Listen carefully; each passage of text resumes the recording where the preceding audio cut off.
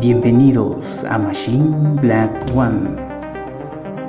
Hola amigos de Machine Black One. Esta es la moneda de 5 centavos o níquel del año de 1961, letra D, en conmemoración de Thomas Jefferson. Esta moneda se vendió en una subasta en el año 2004 por un valor de 23 mil dólares. La razón de este precio tan alto en esta moneda se debió a que es la moneda con el más alto grado de conservación de todas las monedas níquel del año de 1961 de la Casa de la Moneda de Denver.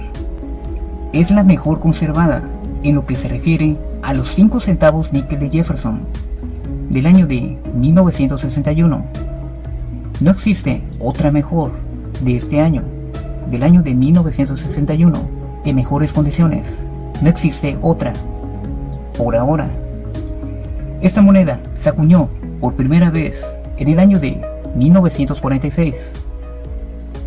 Hasta su último año de acuñación, que fue en el año de 2003.